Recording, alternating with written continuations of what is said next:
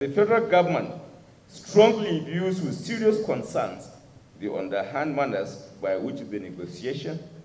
signing, and formation of the contract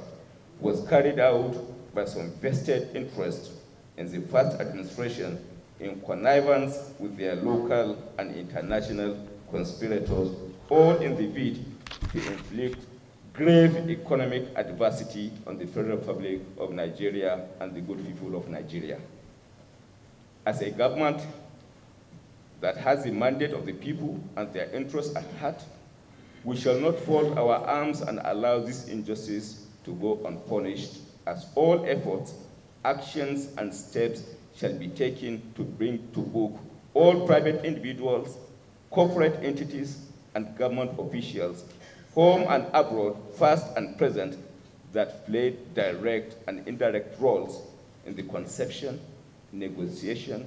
signing, formation, as well as prosecution of the purported agreement.